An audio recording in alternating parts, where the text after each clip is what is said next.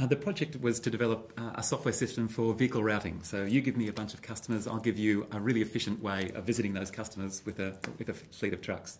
What's uh, special about it is it's a really flexible system. Whatever particular rules there are around your business, our software can take into uh, consideration.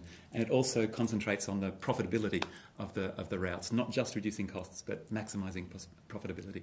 It's been a great experience. Um, really good recognition for um, all of the research that we've done. Uh, and uh, the Intelligent Fleet Logistics project within NICTA is hoping to spin out shortly. And so it's a, a great springboard for us uh, to uh, attract the attention of, of uh, potential customers around the world. But also, we're a bunch of uh, researchers who sort of sit and beaver away all day. It's been really great to have some recognition of, the, of the work that, that, that, the team as a whole has, has put together.